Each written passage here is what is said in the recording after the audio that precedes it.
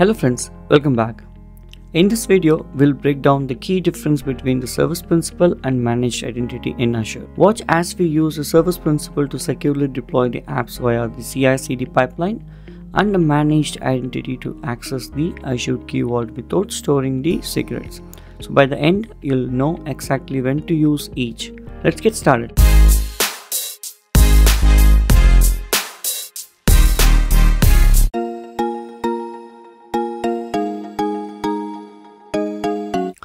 So in this video, we'll be covering the Azure Managed Identity and Service Principal introduction, why do we need them, and key difference and their benefits. So we will be seeing two live demos. The first one will be the Managed Identity in Azure Web App. So we'll be creating a key vault, storing some secrets, and setting up some Azure Web App with Managed Identity. We'll also grant the required permissions so that the web app can access the Azure Key Vault to get the secrets. So we'll be implementing it in .NET Core Web API 9 to see how securely it is fetching the secrets from the key vault. And followed by the second live demo will be the service principal for the Azure DevOps CI/CD pipeline. So we will understand the service principal and their role in the DevOps. We'll be creating a service principal in Azure DevOps and then configuring the Azure DevOps pipeline to deploy the web application to the Azure. And then you see how CI/CD pipelines are running and verifying the deployment. And finally, after all of these things, we will also talk about the best practice and summary of when to use managed identity and when to use the service principal. So by the end of the video, you'll be very solid with these two concepts. So come, let's dive in. All right. So first, let's understand what is identity in Azure. So in Azure, every single application or any services needs an identity to authenticate and access the resources securely. Okay, so instead of giving username and password, Azure actually provides two mechanisms called managed identity and service principal for its secure authentication. So why do we need them? We need this for two main reasons. One is to securely access the Azure resources without managing the credential. The second important thing is this improves the security so that uh, you know it this improves the security by eliminating uh, the need to store any uh, you know credentials in your configuration file. Okay so let's uh, you know talk about the difference or the you know details of the managed identity versus service principal so let's take a look at the first one. Okay these are the features and we have these two right? So let's let me clarify these things. So as per the definition it says managed identity means they are identities managed by the Azure for the application. Okay, meaning every single resource has its own identity, but they are managed by the Azure, which will talk to the applications. Okay, so remember, identities are managed. Managed identity means they are managed by the Azure, not by us. In other hand, service principals are nothing but an identity that was created by human like we go to portal and create uh, the identity that is used for the apps or the services to access the resources. Okay?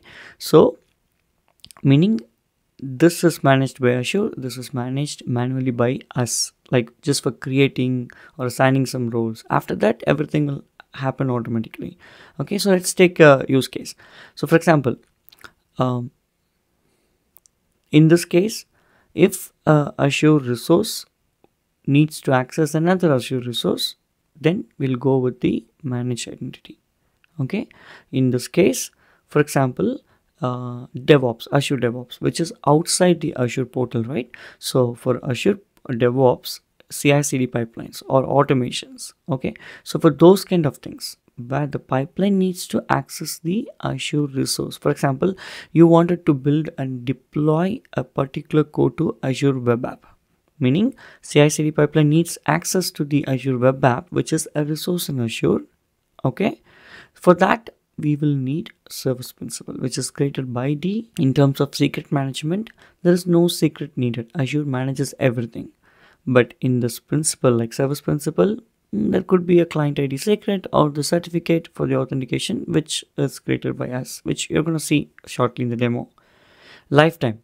Whenever a managed identity like for example whenever a resource that has its own managed identity if the resource is gone like deleted the managed identity associated with that resource also is gone.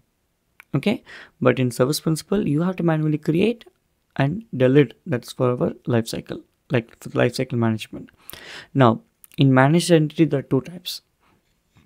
System assigned user assigned. But in this case there's only one type which is manually assigned which is done by us. Okay? So i hope you um, are clear with this. If you are not clear let me know in the comment section of what exactly you want to know uh, in detail. I'll explain you in the next video. Now uh, it's time for the real-time um, you know scenarios and demos. All right. So the first demo right? So i have logged into portal.azure.com under a particular resource group like kv demo rg i have a key vault created and i have a web app created. All right. So what we are going to do is just a quick demo. We have this web application basically this has the key vault url that i just created and it has a secret name called database connection string. So all what this is doing is this one is trying to have an endpoint that is trying to access the secret value for this one. So for this one there's a secret value. It is going to access this. Okay? So let's get into this um, key vault and I'll quickly show you what I meant. So if you go to secret, there is a secret key and there is a value for this. Okay, so this is the uh, value. So if I say show secret value, see there's a database connection string right? There's a database connection string here. It's a big one. So i wanted to retrieve this from the key vault. No? All right. So now what i did is this application is now deployed to whatever i just mentioned which is here. Okay? So if i go and click on the existing api it runs. Now let's try to this application is now trying to run this endpoint. So we got an error because this application doesn't have access. Okay? So in this case we don't have access. That's why you got an error. Now let's go back and try to understand. Okay so in azure every single thing is called resource. So in this case azure key vault is the resource and azure web app api is the resource right? So now this resource is trying to access this resource azure resource to azure resource but it did not work. Now we are going to see how managed identity is going to help us. So in order to have the access for this one to like in order to give access to web app for this what we have to do first do is we need to go here to the web app and to the left side if you scroll down to the settings under that there's something called identity. So there is an identity that tells who this is okay? So if you go to identity again there'll be two things system assigned identity user assigned identity. Let's take a look both okay? So system assigned identity means uh, initially it will be off when i say on there'll be a name like you know there's a unique name or like guid created that is assigned for this so in azure if i go like this just imagine right if i go to uh, microsoft and say hey this is the object id tell me who is this they can find out and tell exactly that this belongs to LSC web app, KV demo web app because this is now associated with this. That's what is called identity. It tells who this is. Now, once you enable this and switch on and save, save, okay, this is enabled. Now what we do is let's go back to this key vault and we are going to provide access. In order to provide access for the web app, okay, go to access control IAM and click on add role assignment okay in this role assignment let's search for uh, secret admin there's something called key vault secret user okay? So this means if you look at this description it says basically this role has access to the secrets in the key vault so i will say next. Now here now here what we have to do is we have two options. We have to say um, to whom we are giving this uh, role that we just selected the two things one is manage identity and one is user group service principal. So basically user means if i'm a user in the login like in this login i'll be user. Or there can be a group that was created under which many users are there. Or there is a service principal that is created manually. We can assign role to that. But in this case we are talking about manage identity so click on this and select member it'll ask you from where it is coming. So choose the subscription. I have four subscription that was it's giving me like this. I'm choosing this because under this subscription only the web app is created. See now it shows who are available here. I can click on it. It will list down exactly this one. Select. Now it is selected. You see this? It's selected here. Let's say next. Assign. Review and assign. So now that role has been assigned to that uh, web app meaning this web app has access to the key vault just to access the secret. If i enter now it gave me the value. It was able to read the value right? That is what the beautiful thing is right? So now did you ever notice any credentials was given? No. Azure resource is talking to another azure resource only through the managed identity. So this is what called managed identity and especially called system identity Alright, now let's jump back to the second demo, which is the service principal demo. So I've logged into dev.azure.com under my organization name where we have all the repositories, CI/CD pipelines, everything is here. Okay, so let me quickly show you how uh, this managed uh, the service principals are created. Okay, so for example, if I go to this uh, repository. Like you know my project there are many repositories here right? So my idea is if i go to ci cd pipeline which is under pipeline okay all what i wanted to do was go to release and i wanted to deploy a particular code. For example smart certify app okay? So smart certify app is nothing but so we were building this online certification application and for this one there is um you know uh, UI and the web app, right? So I wanted to deploy that using CI/CD pipeline. Now CI/CD pipeline is an external application, like in know, Azure DevOps is external. How Azure DevOps will have access to your uh, Azure portal web app? How do you deploy it? That is where the service principal comes into picture. So what we have to do is we have to go to this project settings. Okay, this is how you can actually create a service principal in the in the Azure portal also, but you know we're dealing with CI/CD pipeline so it is easy to create from here.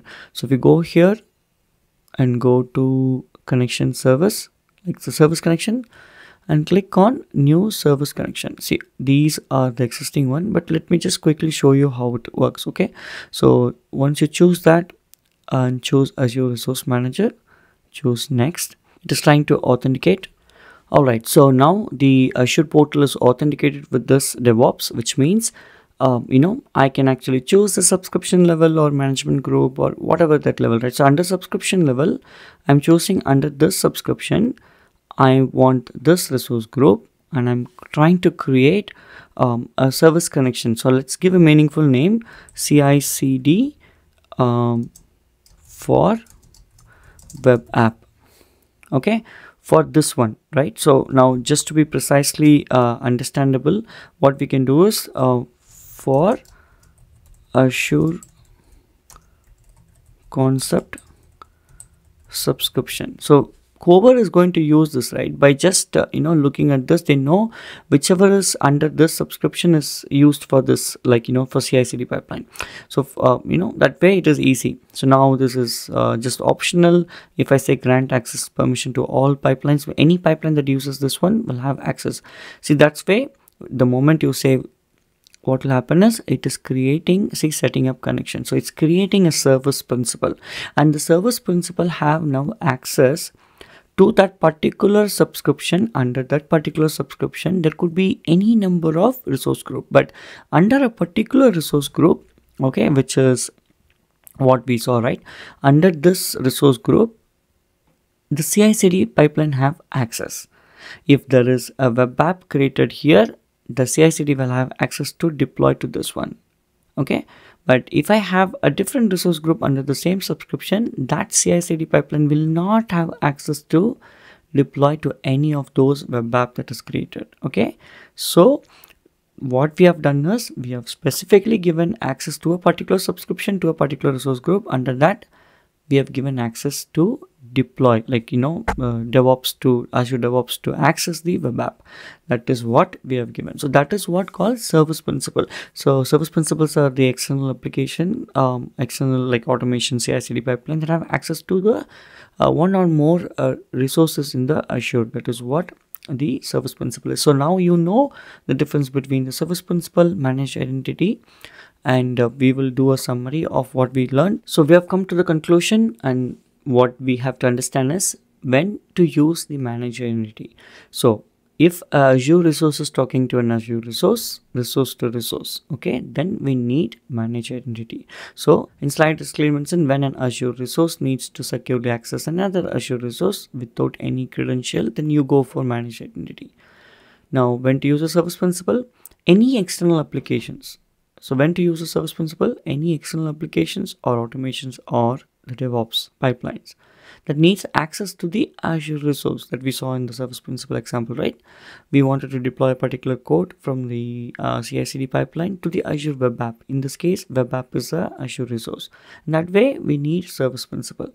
So the take the takeaway here is manage identity is zero maintenance, great for Azure to Azure access, and uh, service principal gives more control but requires managing the secrets. Alright guys i hope you enjoyed this video. You have learned a good concept in this video and if you like this video don't forget to hit the like button and subscribe to my channel and share this with your friends. And don't forget to join the telegram group for live discussion and stay tuned and i will see you in the next video guys. Bye bye thanks for watching if you found this video helpful please give it a thumbs up and subscribe to our channel for more tech tutorials and don't forget to hit the bell icon to get notified when we post new videos. If you have any questions or suggestions, leave them in the comments below.